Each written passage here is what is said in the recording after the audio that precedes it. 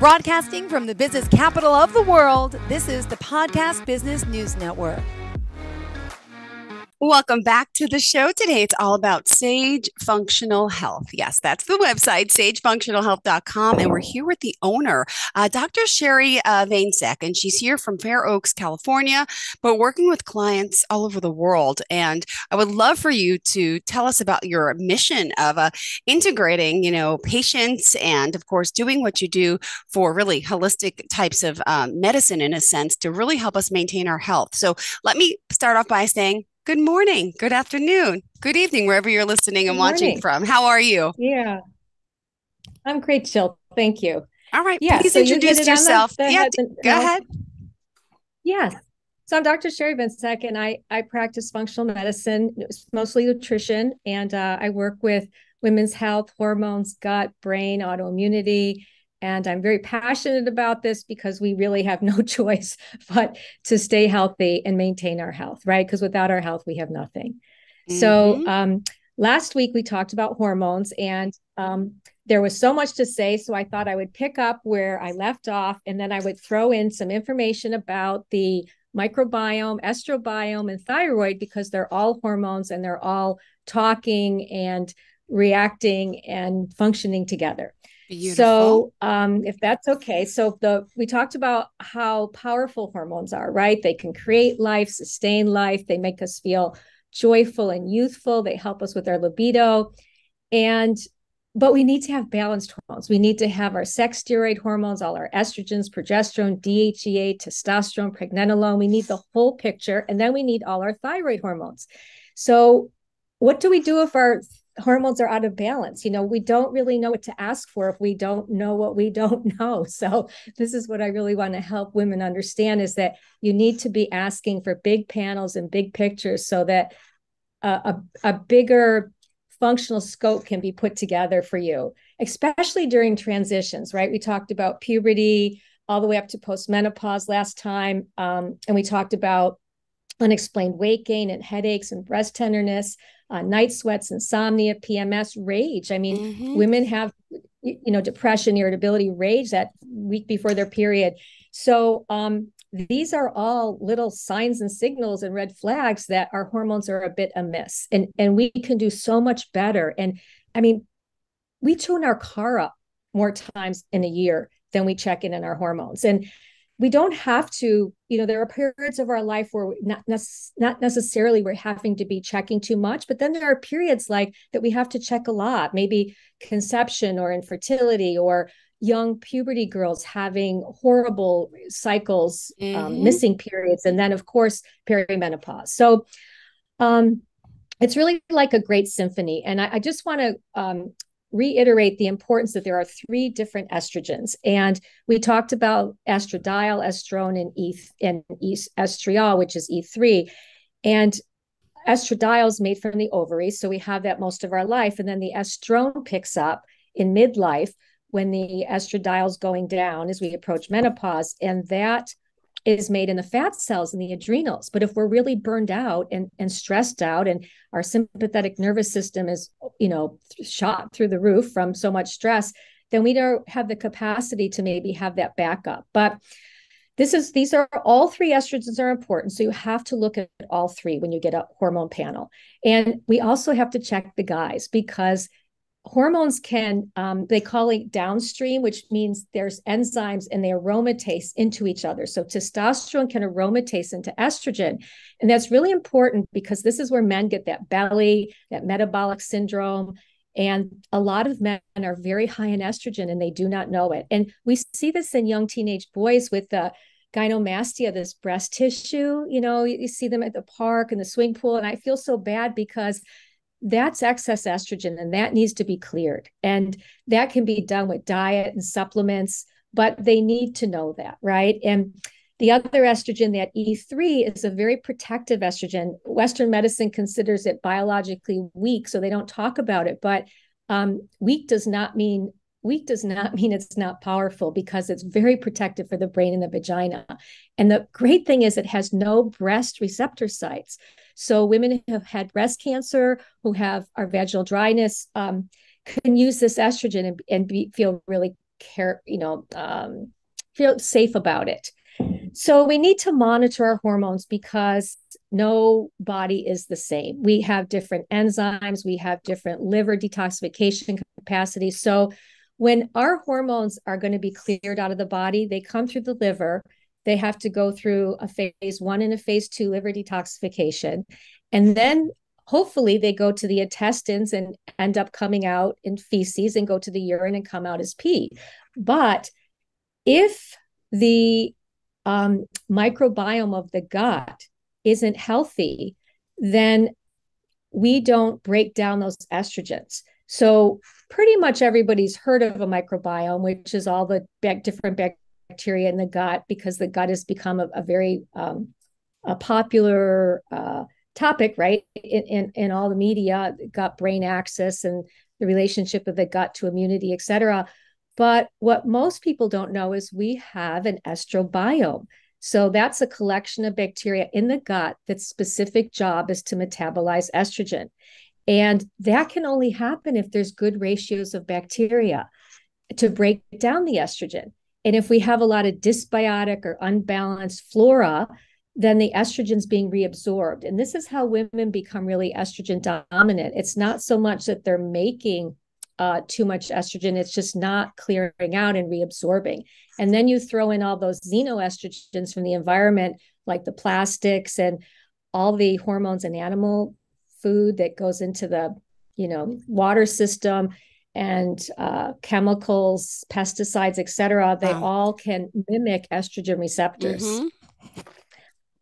So the good news is the microbiome is there to protect us and it changes across our lifespan, which means that gives us control.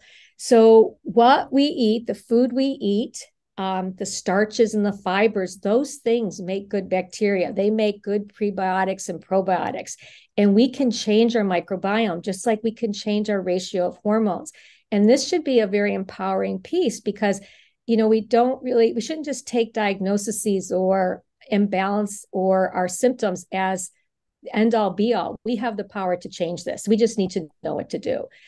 And um, the diversity of the gut becomes very important here. So we need a really vast, rich microbiome, and that comes from eating a variety of different foods. And all of us kind of get into the rut of eating the same vegetables and the same food. And this, is especially true for people that don't like to cook or uh, people who have a lot of food allergies, right? They they narrow down their diet and they narrow down their diet. And they think that they're protecting themselves by doing that. Well, there's two sides to that coin because they're making their microbiome less diverse. And the less diverse microbiome is the less protective microbiome. So there's a, a really good, um, easy way to uh, increase your microbiome's diversity. And that is you go out and you buy 10 or 12 vegetables that you hardly ever eat. You maybe go get some Asian vegetables and different types of vegetables, and you put them in a Vitamix and grind them up, and you make them into a, a mush and or a mash, and then you put it into little jars or little baggies, and you just eat a couple tablespoons a day. This is a way to get all these different starches and fibers, which then enrich your microbiome and then which enrich the breakdown of your own hormones. So no two people are the same, and no two people have the same microbiome or um, estrobiome. So knowing that no two people uh, very often can take the same uh, thyroid prescription or, or, amount. There's different types of thyroid hormones. Uh, there's you know bioidentical, there's synthetic, and there's different applications of taking them. So kind of the moral of this story is we are all so unique and our biochemistries are so unique and we have to really pay attention to ourselves and li- listen to ourselves because you know very often uh, women go to see their primary doctor or whoever their health practitioner is and they're not really listened to around the symptoms that they're having. We saw this a lot with women having endocrine disruption during covid when they were going to their doctor saying oh, i'm losing my period. I had a miscarriage and i know this is because blah blah blah and they really weren't being listened to. So we did a lot of talking about estrogen and i just wanted to do a shout out to progesterone because progesterone is a savior. It's what balance out estrogen. It is our savior as women because it makes us feel relaxed and it's an uh, anti-anxiety and progesterone goes to the roof the third trimester of pregnancy. And there's a reason for that.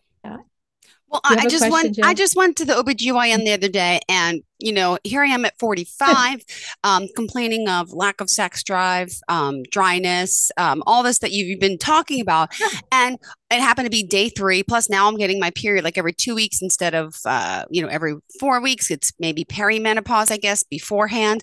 So, yeah. All he did though, yeah. I go to Quest, and he I didn't get the results back, yes, but so technically it's day three, and I know he just te- tests the basics, the estradiol, the the day three mm-hmm. LH, FH. I don't know these things, but it's it's so funny because yeah, yeah. I, I don't think he's testing these specifics that you're talking about. Regular doctors don't do that, do yeah, they? You, right. This is you yeah. also. I just wanted. This is so good you're bringing this up because I personally like salivary tests. I said that last time because yeah. when you're testing hormones in the blood, you're testing a uh, hormone attached to a protein, and that protein has to be cleaved off that uh, hormone to be able to get into the receptor site. So you really never know if the protein got cleaved off, but with salivary, you know. But you have to test on day 22 of your cycle because that's when progesterone peaks, and progesterone's our savior. So if ours doesn't peak and we don't know that, this is not good. And then also, you can, when you get towards perimenopause or you're having really irregular cycles, you can do, um, uh, uh it's it's where you t- take your saliva every three days during the month, an expanded panel, and you get to see all these gentle fluctuations of LH and FH and estrogen. That's and what I was just going to dance. ask. So the salivary test yeah. would be day 22 as well as a blood test, or you recommend a normal salivary test? Yeah, Normal salivary test is day 22. Even a blood test should be day 22. But how do you know day 22 if your periods are irregular? Because did I really get my period or right. am I just, That's how when do you, you know? take it. You just got to do the whole thing. yeah. Okay. You just, you just take, you, it'd be best to do the expanded panel because at least you get to see what's happening in a month. But. I just want to say that perimenopause equates to the perfect storm because we have a brain that's been used to all this estrogen and progesterone and LH and FSH, and it's not getting it. So it goes into withdrawal. And the feedback loops are all slowing down because we're getting towards menopause. And it can be a crazy time. And and it's it's also a hard time in life because you know our adrenals are a little bit overworked and we've been pushing for quite a while. So um, perimenopause is dear to my heart because I had a really hard time with it. And um, if I had known what I knew, when I'd got my progesterone tested, he told me I was going down like the Titanic. It was so, so low. Um, it was ridiculously low. So, progesterone helps with our brain, it helps with night flashes, insomnia, makes us feel relaxed, makes us feel comfortable in ourselves. It's a girl's best friend. So, I really, everybody really needs to know their progesterone level, especially check it at day 22, because yeah. that's when it peaks. We want to know if it's the peak, right?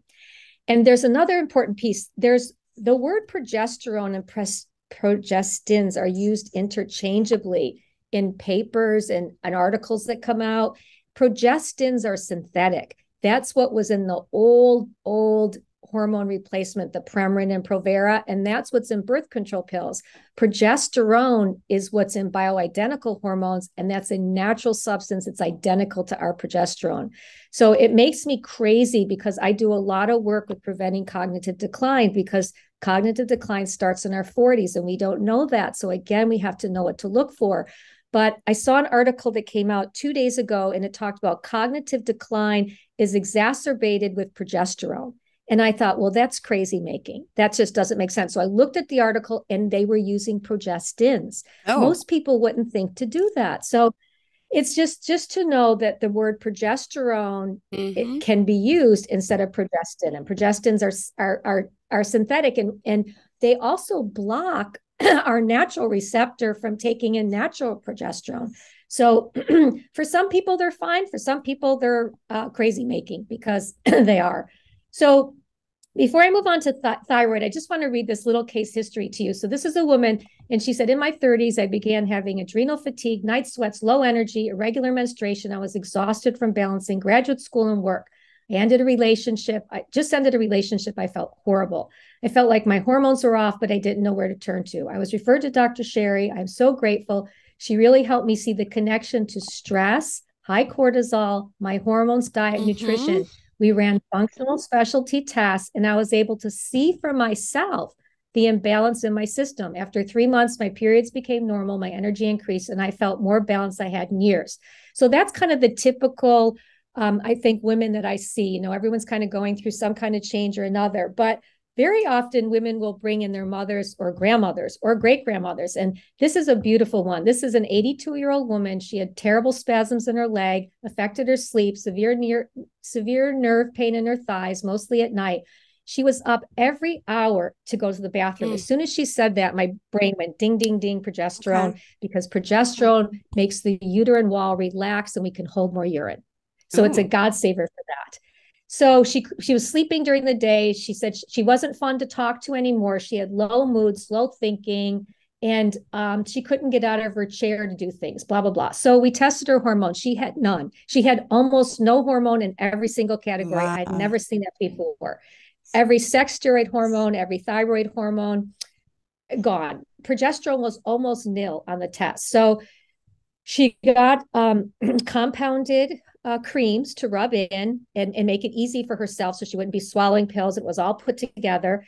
And she said in four weeks, she only gets up to the bathroom two times a night. She sleeps much better, no pain in her legs unless she exerts herself. She gets to use her stationary bike. She's quicker in her thoughts, her humor's back, and she sees color more clearly. Like that has got to be her hormones hitting brain receptors, right? This color that was so great. And um, so this is fantastic, but how many women out there are suffering, right? So if you have a mother or grandmother and they tell you of these symptoms, right? Having to urinate all night and not thinking clearly and just mood and you know being depressed they need hormones and and like i said in last week's talk the north american uh, menopausal society came out in 2017 and finally redacted the ridiculous statement that was made before that women didn't need hormones after the age of 65. So now the common knowledge is that yes, women still need, eh, you know, uh, hormones after 65 because it protects our heart, our brain, our vaginal tissue, makes us feel better, makes us feel like we want to be part of life. So I'm going to definitely run out of time again but I'm going to talk about the thyroid real quick. So, oh, it's funny you said that. My dad's you know, doctor just called and said his levels were okay. It's so funny. I'm not kidding you. This morning, my father called, so I had to send. Um, I mean, the doctor called, and I said, okay, uh, it's okay. Follow up with a nephrologist. 6.6 is his thyroid. It's too high. Need to repeat in four weeks. It could be a hypothyroidism or something. I don't know what that means, but that's funny. My dad's 76, yeah. but I just got that call. yeah. So, so TSH is a measure of hypothyroidism, and the higher it goes, the worse it is. So mm-hmm. that's important. It should not go over three. I, I say oh, two point eight. So when yeah, you get six point six, point two, because these these labs are antiquated. Many of them say that's okay to be to four, four point five. When you get into six territory, you are into hypothyroidism. And there are subclinical signs, I'm sure. So if you looked at all the, you know, pulled up a list of hypothyroid symptoms, cold hands, cold feet, memory fog, uh, constipation, metabolism, slow morning starter. Your dad would check off a couple of those boxes, Got right? It. I give people these lists to just check off. Yeah. Um, so, the, but the thing is, doctors just run TSH and maybe T4, but we need to see the whole picture because it is not, even if your TSH is okay, you still might be having subclinical hypothyroidism because the numbers are off from different labs and people don't know that it really should be under three. But I do want to say that we need to run a whole panel, just like with hormones, we want to see uh, total T4, total T3, free T3, free T4, uh, reverse T3, but T3, free T3 is the most important here, thyroid hormone because it goes to every receptor in the body. You need zinc, you need selenium, you need vitamin D for, to make this thing work. It goes to the brain. There were studies in Stanford about women who are on SSRIs with depression and they uh, could could not come out of their depression. And they tested their thyroid. They were low in T3. When they added T3, all of a sudden their depression lifted, their SSRIs wow. were working. T3 is so important for the brain and it's so important for metabolism. It sets that metabolic rate. It helps us get up in the morning and do our day. And I, it is missed so many times. And the second thing that's missed is either at least 50%, maybe 70% of hypothyroidism is Hashimoto's. And Hashimoto's is an autoimmune disease in which our own immune system kind of gets mixed up and it starts attacking our own tissue. And you have to test thyroid antibodies. And I would say to every person out there who's never, who suspects that they have a thyroid issue, to test your thyroid antibodies because I've seen thyroid antibodies in girls seven and eight years old, and they would be destined for a life of less and less thyroid tissue because that um, immune system would keep attacking their thyroid and they would have weight gain and depression and um, uh, just low mood and irritability you know they would feel horrible. So with the thing with antibodies is you have to test thyroid peroxidase antibodies and thyroid globulin antibodies. You need to test both of those antibodies. And autoimmunity gets triggered and it's genetic. It's sitting there waiting to express itself but it's kind of like the spokes on a wheel. If you take one or two spokes off that wheel will still work. But if you pop out about 15 of those spokes the wheel's not going to work well well that's how genetics are it's kind of a little teetering that you may express this autoimmune disease or you may not but then there's these triggers and gluten is a trigger for thyroid insulin surges, infections, pathogens, estrogen dominance, because estrogen will compete on receptor sites for T3. It'll bump off T3. Um, estrogen can really be a bully, especially estrone, even though we need it if there's too much of it. So um, we really need to do full thyroid panels, and, and we really, at least if we haven't one time checked. And New York is a tough state because they don't let a lot of outside states do um, direct testing. But like in California, we have contracts where we can do wholesale thyroid testing and we can do like 10 thyroid markers for $88. mm hmm That's an wow. incredible price, you know. So people can shop around who are listening to this podcast that direct labs, uh, principal labs, even life extension often deals that you can get these checked because um, if you don't have health insurance, these these add up. And so, you know, you can fix your thyroid with medication, which is efficacious and important if you need it. You can do great nutraceuticals. There's great supplements out there for thyroid. Uh, sometimes women need iodine. If you have Hashimoto's, iodine is contraindicated. You shouldn't be okay. taking high amounts. But we all need to know our triggers. You know, once that's a nut, that's another nut roll kind of. Once you figure out if you're you do yeah. have an autoimmune thyroid, then you have to figure out the triggers. And there's a lot of good books out there. So, um, you know, we have the right to know. We have the right to know our full thyroid panels, our full sex steroid panels, how they're working together. And if your doctor is not open to ordering them, which happens in a lot of HMOs, or even aware enough to open them to run them, then you need to search other places to get them, right? Salivary panels I can mail to anybody to do and, and they can send in. And, and then 24 hour urine tests are another way to do that. Um, so I hope this information, you know, helps um, you have decision making about your hormones and kind of puts you in yeah. the driver's seat because Thank we you. need to ask and we need to kind of demand a little bit, right? This is what I'd like to know. I'd like to know all my sex steroid hormones, and I'd like to see. Uh, you know my thyroid hormones as well and i want to have my thyroid antibodies run especially if there is celiac disease in the family because okay. celiac and hashimoto's run together Okay. Very common. In, in, fact, when you have one autoimmune disease, they say there's usually two behind it, but okay. they may not express themselves in the lifetime. They may or may not, right? So, um, yeah, so this oh, is it. We need to start you. thinking of our gut and brain and and hormones and put it all together. And we can contact yeah. you. We can do these type of tests with you anywhere, right? Yeah, Around that's the right. World, they can be mailed. So perfect. Tell us how we can reach you. Yep. Uh, my email is sagefunctionalhealth at gmail.com and my website is sagefunctionalhealth.com.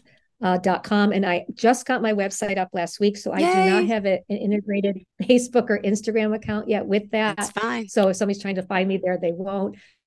But my website says it all. I mean, I think it pretty much says what Great. I do. Thank yeah. you so much. Pleasure having you here again. You have a fantastic day. Great seeing you in person. Are you looking for even more of the podcasts and hosts that you love? The Podcast Business News Network is proud to announce that you now have even more ways to listen live. Check out the MyTuner Radio, online radio box, and Simple Radio apps on iOS and Android, or find us online. Search for Business News Network on mytuner-radio.com or search Podcast Business News Network on streema.com and onlineradiobox.com slash US. Take your podcast on the go and don't miss a minute of the action.